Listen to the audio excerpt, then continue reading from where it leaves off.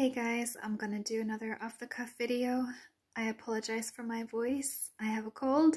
Not COVID this time, I checked. I'm gonna be responding to the tweets by congressional candidate Alexandra M. Hunt. When I first saw these, I thought this was utterly dystopic, and now, a day or two later, I see she's gotten a lot of backlash, thank Christ. For those of you that don't know what she said, let me read it out to you and respond as I go through it. So, this American congressional candidate tweeted Young men aren't having sex. Nearly a third of men under 30 have not had sex, and a higher percent do not have as much sex as they'd like. Not exactly surprising, but this kind of statistic is a sign of much deeper problems. And then there's a graph from the Washington Post showing 28% of men between ages 18 and 30 reported no sex in the past year. So her tweet's a little bit misleading because it sounds like she's talking about lifetime.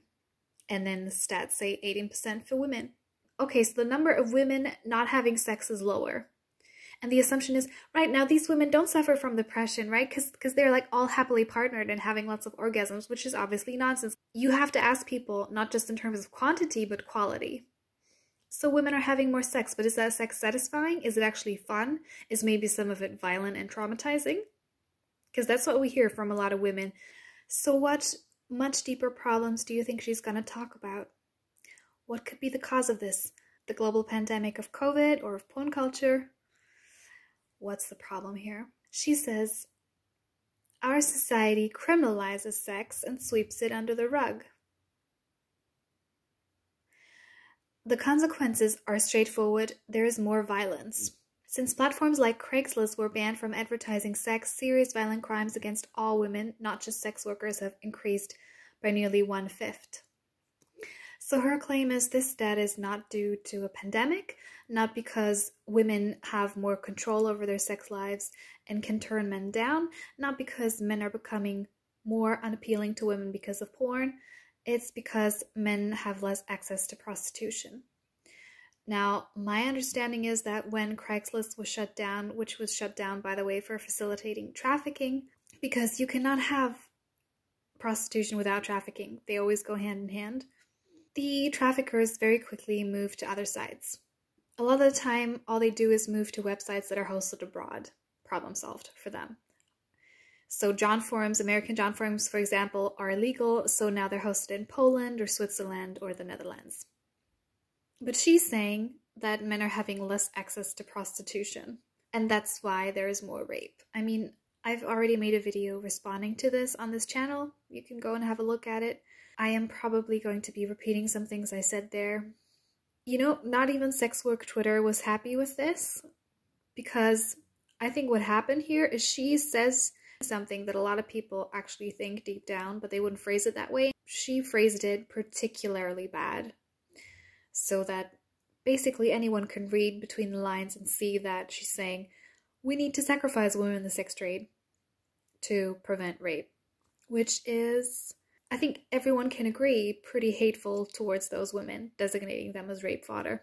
And like, not only is her evidence for this claim flimsy, even if it were true, it'd be really cruel to say, you know, for the civic population, these men are too dangerous, they're too awful, they're such pressure cookers, they'll just boil over and attack.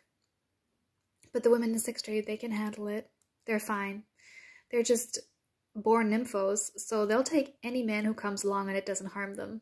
So we should just have a big, big trade because there's so many of these women, right? It's got nothing to do with with poverty or with organized crime. This is not just abstract thinking, but is put into practice. Countries like Germany, but not just Germany, you'll find many more where this occurs. When you believe that prostitution is therapeutic to men, that ends in the phenomenon of sending women into prisons to give therapy to sex offenders or sending sex offenders into brothels for the same purpose. And there are cases where this happens. As far as I'm aware, it's not a mass phenomenon, but it shouldn't happen at all.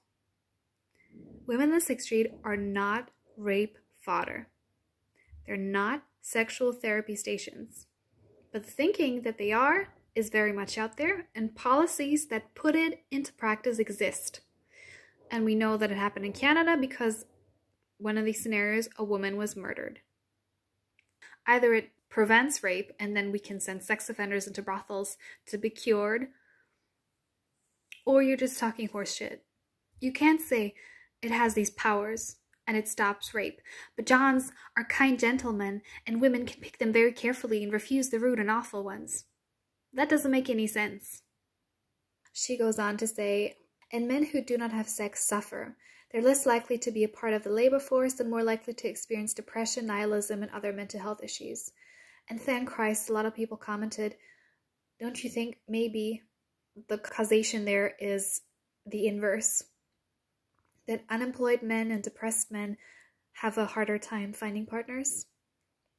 But again, she's saying something that a lot of people think. They think the sex trade is necessary for men's happiness. If brothels and escort agencies and porn disappear, then men will just despair. Now, if you actually listen to a lot of men who come out of brothels or after watching porn, they feel still bad or worse. So not only does it not work for a lot of men, because you're not actually, I mean, we have a loneliness pandemic for men and women, young people, old people, absolutely. But that's solved by hobbies and friendships and real relationships. It's not solved by going to a brothel or calling up an escort hotline and saying, I want to have these acts with a woman of this body type for this time duration. That's not human connection. Now, the sex trade has hyped itself up, like the profiteers of the sex trade have presented it as some kind of therapy, but it's not, and not even most Johns actually believe that. But even if it did, even if, if prostitution did cure men's depression, the fact that it itself causes abhorrent mental health outcomes in women. A similar outcomes to war veterans and survivors of torture and rape makes it unjustifiable. Like, we don't destroy women to help men's mental health, right? So many things men could do sports, hobbies, education, friends, real relationships. Not saying these are easy. This is to take work. Prostitution is pushing a button. You don't progress as a person, you don't develop your character, you don't even grow your sexual prowess and your skills because she she's paid to tell you that you're a great stud. I just want to emphasize this point one more time. Men do not buy sex because they're lonely and depressed. Many of highly successful men, including men who can get plenty of dates, statistics show Johns on average have more partners than non-Johns. They're actually more promiscuous. And this is counting non-prostituted partners. The key difference between a John and a non John is not loneliness or ability to woo a woman. There are plenty of lonely men who don't buy sex, and plenty of very socially connected, successful, charismatic men who do. Johns have told us this so many times. They use the sex trade because it's low effort, zero effort basically, just money. And it's all about you, your sexuality, She's just there to affirm all your fantasies, and at the end, you can just leave. No strings attached. She's not going to want your number, your real name, your house, your babies, whatever. It's no strings attached. You just leave. You don't care. You don't worry about any emotional, physical consequences for her. That's why men buy sex. And also because society lets them and they can, and there is socialized into entitlement. That's the difference between Johns and non-Johns. The feeling that you're owed sex at the push of a button. Like, it's just not true that Johns are just a bunch of incels. Even if it was, that wouldn't justify the sex trade, but it's just not true. Next tweet says The Me Too movement accomplished so much, and we have to take the next step normalizing having healthy, positive, consensual sex. Decriminalizing sex work, funding sex education, and creating outreach programs to help young people develop healthy sexual habits. Prostitution is not a healthy sexual habit not looking for someone who desires you, but someone who needs to pay rent, right? Who needs to make ends meet and is desperate. That's not even a healthy sexual habit. That's predatory. If that was a landlord, we all get it. When the John does it, it's sex work. Come on. How can you learn anything about sex in a paid encounter? It, the sex trade itself is Me Too on steroids, as the survivor Autumn Burris says. Like, that's what the Me Too movement needs to go. It talks about consent all day long. I've made a video about this before how prostitution violates basically every tenet of consent. We need a Me Too for the sex trade. We do not need Me Too to promote the sex trade to men. Like, this is upside down land. you know, without rape culture, the sex trade would be minimal. I'm not even saying it wouldn't exist, but it'd be so tiny. Because besides poverty, sexual trauma is one of the leading factors that brings women into the industry. Learning that your body doesn't belong to you, but is public goods essentially. If you've been violated so many times, you think you can't enforce your boundaries, so you might as well charge for the violation. That's one of the key mechanisms that underpins the sex trade. So, how could promoting it possibly this thread is such a mindfuck. But this is the worst one and the one that she got the most flack for, rightfully so, because now she's really saying what the, you know, sort of the quiet part that we don't say out loud anymore, or not that often in patriarchy, which is we should be moving toward a right to sex. People should be able to have sex when they feel they want to, and we need to develop services that meet people's needs without attaching the baggage of shame or criminalization. Now, for example, the situation in elderly homes where a lot of people don't have enough privacy. Like people do still date in elderly homes, or they may have a partner who is in the same home and they want to have some quiet time together. Should you give them the privacy that they can sleep with each other? Duh. There's a difference between enabling someone, let's say in an elderly home or a disabled home or something, or some place where you might like privacy, to get that privacy, to have sex with a consenting partner, and something entirely different if now the caretakers are calling an escort for the man with dementia who has been harassing the nurses. Like, there are worlds between these two things you have a right to not be criminalized for your your choice of partner as long as they're adult, you know, not be criminalized for choosing a same-sex partner, but a right to sex.